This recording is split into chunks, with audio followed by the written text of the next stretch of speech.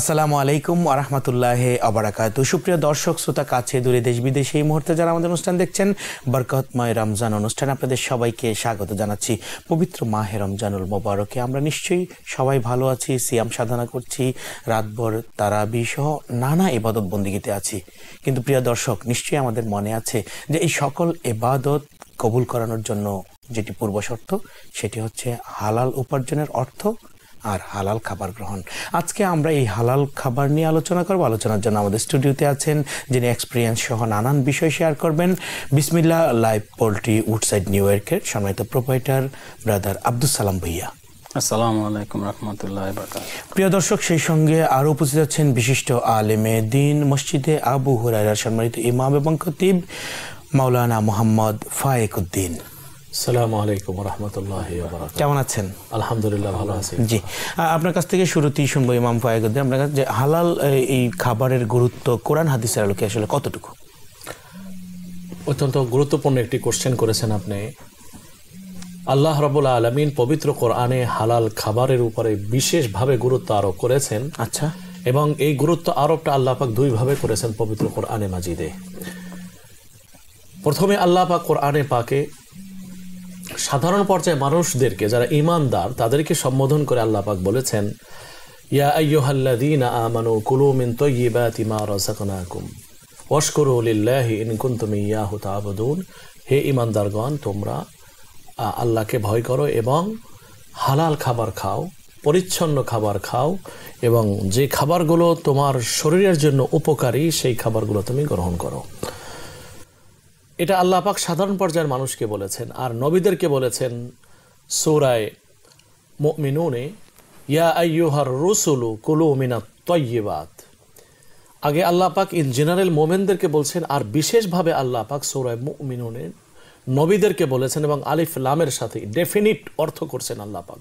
ইয়া আইয়ুহার রসুলু কুলু মিনাত তয়্যিবাত হে নবী সম্প্রদায় তোমরা অবশ্যই তোমাদের খাবার যেন হালাল হয় তোমাদের খাবার যেন পরিমিত খাবার হয় তোমাদের খাবার যেন সুন্দর এবং স্বাস্থ্যসম্মত খাবার হয়। আচ্ছা। আল্লাহ পাক ভাবে আমাদেরকে বলছেন এবং নবীদেরকেও বলেছেন। এটা দ্বারা বোঝা যায় যে হালাল খাবারের গুরুত্ব কতখানি বেশি। কেন? আল্লাহ পাক আমাদেরকে যে সৃষ্টি করেছেন এর মর্ম হলো দুটি। এক নম্বর হলো এবাদাত দুই নম্বর হচ্ছে খেলাফাত। আমরা অনেকে বলে থাকি আল্লাহ পাক আমাদেরকে শুধু এবাদতের জন্যই সৃষ্টি করেছেন। কথা এটা নয়। আল্লাহ পাক এবাদতও জন্য এখানে লক্ষ্য, সাথে আর একটি উদ্দেশ্য আছে, সেটা হলো খেলাফাত। ইন্নে জাইলুন ফিল আরদি খলিফা। তো এবাদাতের যেহেতু অন্যতম একটি লক্ষ্য আমার সৃষ্টির, আর এই এবাদাতটাই আল্লাহর কাছে গ্রহণযোগ্য হওয়ার জন্য নির্ভরশীল হলো হালাল খাবারের উপরে।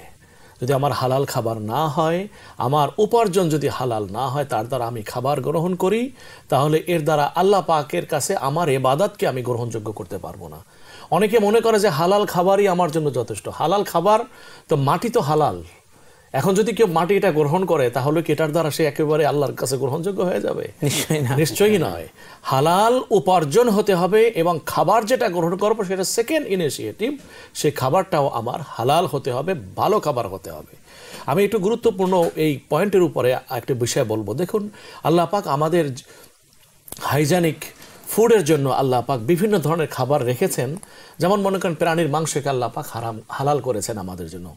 হালাল প্রাণীর মাংস যেমন গরু মহিষ তারপরে হচ্ছে গোট ইত্যাদি এগুলা। কিন্তু ওই সমস্ত প্রাণী কিন্তু আল্লাহ পাক আমাদের জন্য হালাল করে করেছেন। যে সমস্ত প্রাণী তৃণভোজী আচ্ছা। যারা জমিন থেকে ঘাস খায় ওই প্রাণীগুলোই কিন্তু আমাদের জন্য আমাদের আমাদের জন্য হালাল করেছেন। যেমন আপনি বলেন বকরি গাছের পাতা খায় গরু এগুলা তারা মা- কি জমিন থেকে যেটা উৎপন্ন হয় সেগুলো খায় ঘাস খায় ইত্যাদি। এই প্রাণীগুলোর খাবারই হচ্ছে হালাল। এজন্য আল্লাহ পাক ওই তৃণভোজী ওই প্রাণীগুলোর মাংসকে আমাদের জন্য কি করেছেন? হালাল করেছেন। তাহলে বোঝা গেল প্রাণীর মাংস হালাল হওয়ার পিছনেও যে মূল কারণটি ছিল সেটাও হালালের থেকে উৎসারিত খাদ্য এই প্রাণী গ্রহণ করে বিদায়। আল্লাহ পাক প্রাণীর মাংস আমাদের জন্য কি করেছেন? হালাল করেছেন। কত চমৎকার ভাবে আল্লাহ পাকের এই সৃষ্টি বৈচিত্র্য বৈচিত্র্য আমাদের মাঝে আল্লাহ পাক রেখেছেন। সুতরাং একজন মোমেন তার হিসাব নিকাশ তো হবে ভিন্ন ধরনের।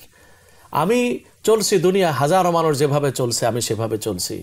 আমার সামনে কোনো মিশন নাই, আমার কোনো মিশন নাই, আমার কোনো সুদূর প্রসারী লক্ষ্য নাই। আমি চলছি স্বাভাবিকভাবে মানুষ যেভাবে চলছে, তাহলে এটা হলো এরকম, কেমন যেন বনের ভিতরে যেমন প্রাণী চলে, আমিও ঠিক ওই চতুষ্পদ প্রাণীর মতো আমার জীবন আমি যাপন করলাম। আল্লাহ পাক আমাদেরকে ইমানের দৌলতে আমাদের চিন্তা চেতনাকে শানিত করার জন্য বলছেন এবং সুদূর প্রসারী চিন্তা ভাবনা নিয়ে খাদ্য, খাবার, এবাদাত, বন্দিগি, কাজ, কারবার, কথাবার্তা সব কিছু ওই সুদূর প্রসারী লক্ষ্যকে নিয়ে গ্রহণ করার ব্যাপারে আল্লাহ পাক বলেছেন। সুতরাং একজন মোমেন তার অবশ্যই তার খাদ্য হতে হবে হালাল।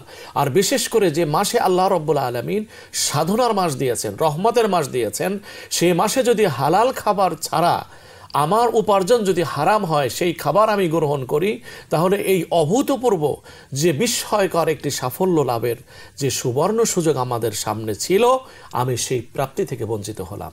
এজন্য মাহে রমজানের ক্ষেত্রেও আমাদের হালাল জীবিকার প্রতি, হালাল উপার্জনের প্রতি, হালাল খাদ্যের প্রতি আমাদের বিশেষভাবে দৃষ্টি নিবদ্ধ করা উচিত। হালালের অর্থ এটা নয় যে শুধু রোজার মাসেই খেতে হবে। হালাল সর্বদাই সারা বছর সারা জীবনই। জীবনী কারণ রসুল্লাহ সাল্লাহ সাল্লাম হাদিসে বলছেন কাসবুল হালালি ফরিদাতুন বাদাল ফরাইজ। ফরজ নামাজের পরেরই ইবাদত হচ্ছে হালাল জীবিকার জন্য পরিশ্রম করা। ফরজ ইবাদতের পরবর্তী ফরজই হচ্ছে হালাল জীবিকার জন্য শ্রম দেওয়া। এটা রসুল্লাহ সাল্লাহ সাল্লাম বলছেন। কোরআনে সুরা জুমে আল্লাহ পাক কীভাবে বলছেন? যে জুমার দিনটাই আল্লাহ পাক নিজের জন্য একান্তভাবে খাস করে নিয়েছেন সেই জুমার দিনের, জুমার নামাজের আদায়ের ব্যাপার আল্লাহ পাক কোরআনে বলছেন, ফাইদা কুজি আল্লাহ পাক বলছেন, ইদা নুদি আলী সলাতিমি ইয়াউমিল জুমা যখনই তুমি জুমার খুদবার জুমা জন্য তোমার আজান শোনো, তুমি দ্রুত মসজিদে উপনীত হও, ইমামের পক্ষ থেকে তুমি খুদবা শ্রবণ করো। এরপরে আল্লাহ পাক বলছেন, দেখুন, গুরুত্বপূর্ণ হলো খুদবার জন্য দ্রুত মসজিদে যাওয়া, বিলম্ব না করা। আজানের পরে শুক্রবারে কোনো মুসলমানের পুরুষের কোনো কাজ করা সম্পূর্ণ হারাম। ফতোয়া স্বামীতে স্পষ্ট লেখা। মানে আজান হওয়ার পরে? আজান হওয়ার পরে কোনো মুসলমানের কোনো ধরনের চাই সে বিক্রি হালাল হোক আর হারামের তো কোনো প্রশ্নই নাই। তার বিক্রি হান্ড্রেড পার্সেন্ট হালাল হোক কিন্তু আজান যখন হয়ে যায় শুক্রবারে আজানের পর তার জন্য কোনো ধরনের ব্যবসায় নিয়োজিত থাকা ব্যবসার কাজে নিয়োজিত থাকা ব্যবসায় কথাবার্তা বলা এগুলো সম্পূর্ণ হারাম। আল্লাহ পাক ওয়াসাউ ইলা ফাসাউ ইলা দিক্রিল্লাহি ওয়াজারুল বাইয়ে কোরআনে নির্দেশ দিয়েছেন ওয়াজারু এ have to avoid leave it ছাড়ো এটা গিভ আপ করো তুমি। বিজনেস আর নয়, এখন স্টপ করো। অর্থটা ঠিক এরকমই। ওয়াজার রুল বাই ওয়াদারো এখানে শব্দটা বলা হয়েছে নির্দেশসূচক বাক্য। আর আপনি জানেন যে নির্দেশসূচক বাক্য আর কোরআনে যখন ব্যবহার হয়, তখন সেটা ওয়াজিবের অর্থ দেয়। আল আমরুলিল ওজুব এটা উসুল ফেকার একটা রুল, থিওরি। আল্লাহ পাক ওয়াদারুল বাই, জুমা আজানের সময় আজান হয়ে গেছে, আর কোনো বেচা কেনা নাই। মসজিদে দ্রুত তুমি যাও। আর আল্লাহ পাকের সাথে সাথে বলছেন, যখন তুমি জুমার নামাজ শেষ করে ফেলছো, এখন তোমার কাজ কি? ফান্তাসির ফিল আর ওয়াবতাগো মিন ফাদুলিল্লাহ, তোমার ফরজ হয়ে গেছে এবাদত এখন তোমাকে, তোমার উপরে ফরজ দ্বিতীয়টি এসে গেছে, সেটা হলো হালাল জীবিকার জন্য তুমি বেরিয়ে পড়ো। হালাল জীবিকার অন্বেষায় তোমার নিজকে তুমি নিয়োজিত রাখো। কত গুরুত্বপূর্ণ কথা। আমরা সাধারণত ইনকামের ক্ষেত্রে অর্থনৈতিক টাকা পয়সা কামাবার ক্ষেত্রে হালাল আর হারাম এর মাঝে আমরা তমিজ করি না। একজন মোমেনের শান কখনো এমন হতে পারে না। এই হালাল লাইফ পোলট্রি যে আপনি গড়ে তুলেছেন এর পিছনে আসলে কি স্বপ্ন ছিল? আমার স্বপ্ন ছিল যে যে যে সবাইকে হালাল খাদ্য সরবরাহ করব। এটা আমি জীবিকা হিসাবে নিয়েছি।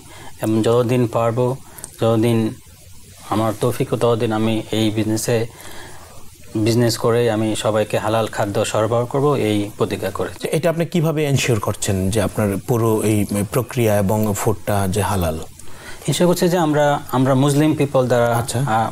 প্রত্যেকটা each and every single chicken job করা হয় এবং তার আগে যে আমাদের বিসমিল্লা আল্লাহ আকবর বলতে হয় এটা অবশ্যই বলি এবং আমাদের এমপ্লয়ীদেরকে এভাবে ট্রেন করা হয়। আমি নিজেও স্লটার করি। এটা এবং কেউ যদি দেখতে চায় সে নিজের চোখেও দেখতে পারে এটাও অপশন আছে। কেউ যদি নিজে জবও করে নিতে চায় এটাও তার অপশন আছে। সে নিজেও তার তার আচ্ছা। চিকেন জব করে নিতে পারবে। জি ইমাম মোহাম্মদ ফাইকুদ আপনি তো অত্যন্ত চমৎকার বলছেন যে হালাল যে খাবারের গুরুত্ব এবং আল্লাহ পাক কত চমৎকার এবং কত গুরুত্বের সাথে নির্দেশ দিয়েছেন কোরআন এবং হাদিসে। তো এই পবিত্র মাহে রমজানে আমরা যে এই ইবাদত বন্দি করছি রোজা করছি এবং অন্য সময় যে ইবাদত করি এই ইবাদতের পূর্ব শর্ত তো এই হালাল খাবার। তো এই যে আমরা আব্দুল সালামের কাছ থেকে শুনলাম যে ওনার এখানে এই যে জবেহ করার যে প্রক্রিয়া এইটার সাথে একটা পশু একটা চিকেন সেটি তো আসলে হারাম থাকে না। কিন্তু জবের প্রক্রিয়ার কারণে যে হালাল হারাম হয়ে যায় এই বিষয়টা যদি একটু বলেন। আরও একটা গুরুত্বপূর্ণ কোশ্চেন আপনি করেছেন আপনাকে ধন্যবাদ। পবিত্র কোরআনে মাজিদে আল্লাহ রব্বুল আলমিন কোনো মাংসকে হালাল করার জন্য তিনটি কন্ডিশন আরোপ করেছে আচ্ছা। এজন্য কোনো খণ্ডিতভাবে কোরআনের এক অর্থ দেখলে এর অর্থ বের করা যাবে না। এক নম্বর হচ্ছে প্রাণীটা হালাল হতে হবে। কেউ যদি এখন শুকরকে বিসমিল্লাহ আল্লাহ আকবর বলে জবাই করে তাহলে তো এটা তো হালাল হবে না। আচ্ছা। কেননা প্রাণীটাই হারাম। হারামটাকে বিসমিল্লাহ বলে হালাল করার সুযোগ নাই। শুকর অথবা কুকুরও যদি আমরা বলি অথবা যে হ্যাঁ, এক নম্বর হচ্ছে প্রাণীটি হালাল হতে হবে। দুই নম্বর হচ্ছে ওই প্রাণীর যে প্রাণীটি হালাল সেটাকে জবাই করতে হবে হালাল তরিকায়। হালাল প্রক্রিয়া তাকে জবাই করতে হবে। সেটা কীভাবে?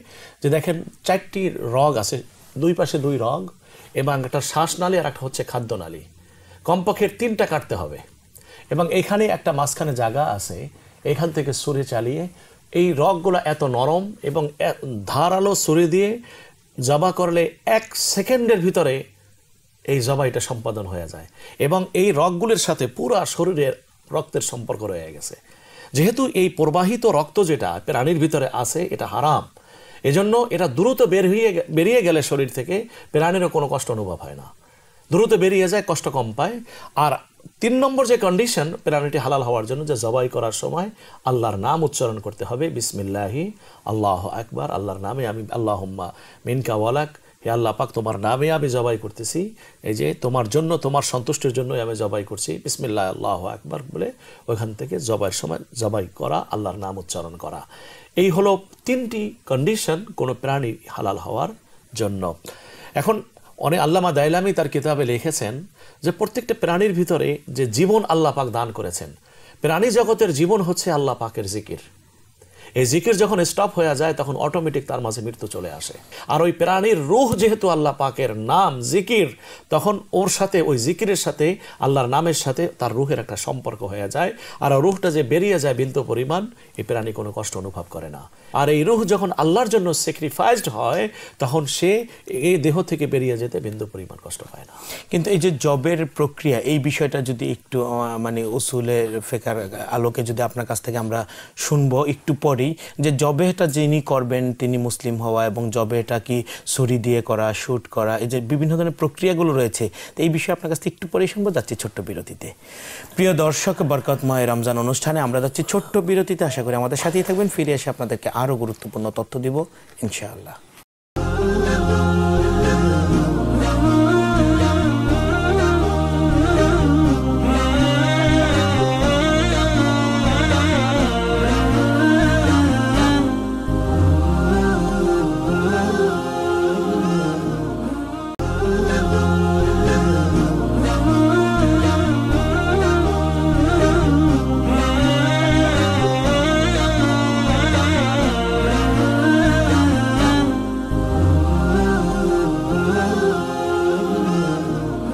ধন্যবাদ। প্রিয় দর্শক এতক্ষণ আমাদের সঙ্গে থাকার জন্য আমাদের অনুষ্ঠান চলছে। পবিত্র মাহে রমজান উপলক্ষে বিশেষ আয়োজন বরকত মাহে রমজান। আমরা আলোচনা করছিলাম হালাল ফুড নিয়ে। আমাদের সঙ্গে আছেন ইমাম মাওলানা মোহাম্মদ ফায়েকুদ্দিন আমাকে জিজ্ঞাসা করেছিলেন যে একটি প্রাণীকে হালাল করার প্রসেসটা প্রক্রিয়াটা কি?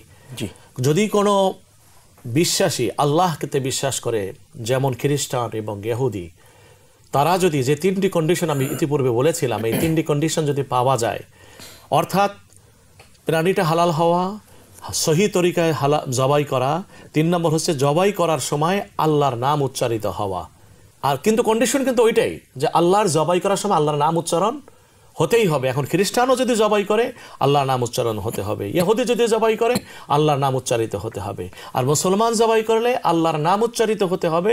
এখন মুসলমান যদি জবাই করার সময় আল্লাহর নাম বলতে ভুলে যায় তবুও তার জবাই করা মাংস খাওয়া যাবে অ্যাকর্ডিং টু ওপেনিয়ান হজরত ইমাম আবু হানিফ রহমতুল্লাহ আলাই কেন? তিনি বলেন যে প্রত্যেকটি মুসলমানের কলবের ভিতরে কালেমা তৈয়বা জীবন্ত আছে এবং আল্লাহর নাম জীবন্ত আছে।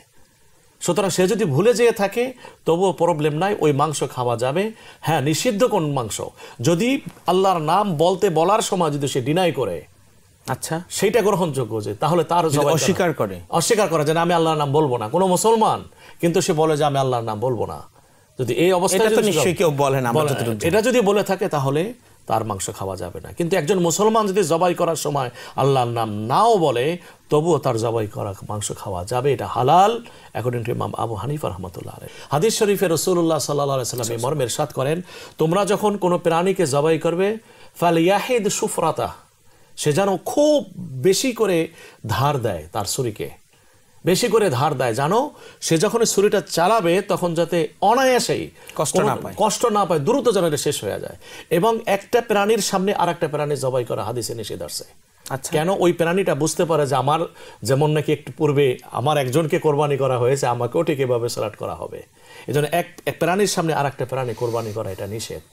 আর যেটাকে বলে অজ্ঞান ইসলামটা আসলে কত মোর প্র্যাকটিক্যাল প্র্যাকটিক্যাল এবং রসুল্লাহ সাল্লাহ যে পাও বেঁধে যে কোরবানি করে এটাও কিন্তু নিষেধ।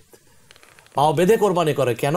যখন নাকি জবাই করা হয় যদি হাত পা খোলা থাকে তখন তার এই প্রাণটা বেরিয়ে যেতে অনেক তার কি স্বস্তি বোধ বোধ করে।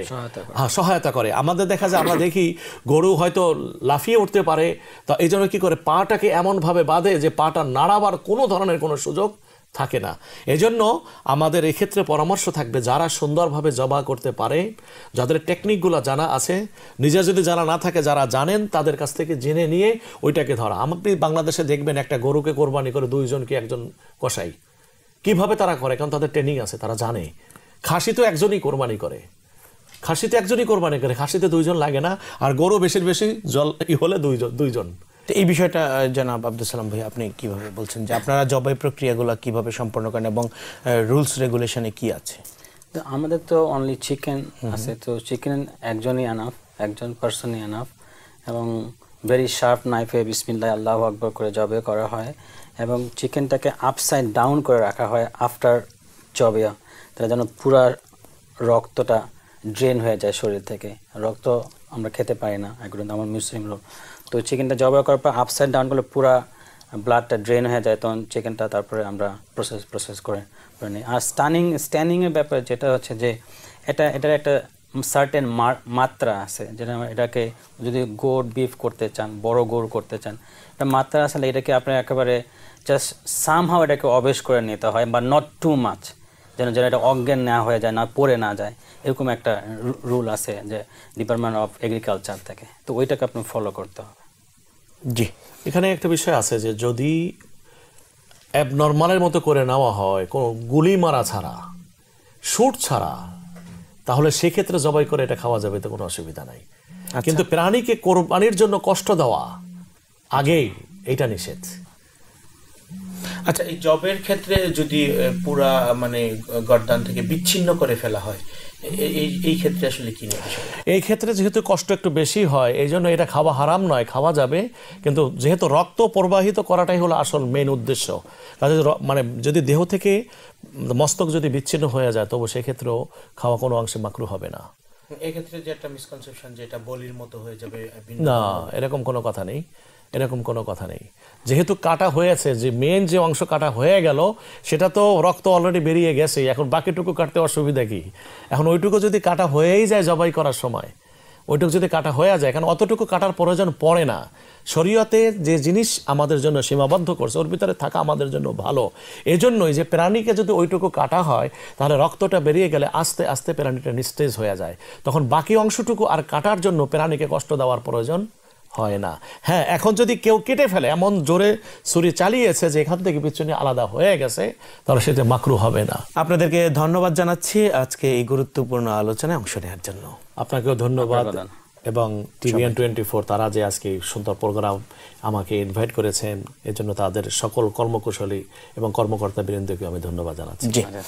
প্রিয় দর্শক এতক্ষণ ধরে বরকতময় রমজান অনুষ্ঠানে অত্যন্ত গুরুত্বপূর্ণ একটি ইস্যু নিয়ে আমরা আলোচনা করেছি সেটা হচ্ছে হালাল ফুড আল্লাহ পাক আমাদের সবাইকে হালাল উপার্জন এবং হালাল খাবার গ্রহণ করার তৌফিক দান করুন আমিন। আসসালামু আলাইকুম রহমতুল্লাহ আবরাকাতু তুমি অসীম তুমি মহা তুমি পৃথিবীর পালনকারী, তুমি প্রভু আমি আমি তোমাকে খুঁজি, আমি তোমাকে দেখি, আমি তোমার প্রেমের কবিতা লিখি। আমি তোমাকে খুঁজি, আমি তোমাকে দেখি, আমি তোমার প্রেমের কবিতা লিখি।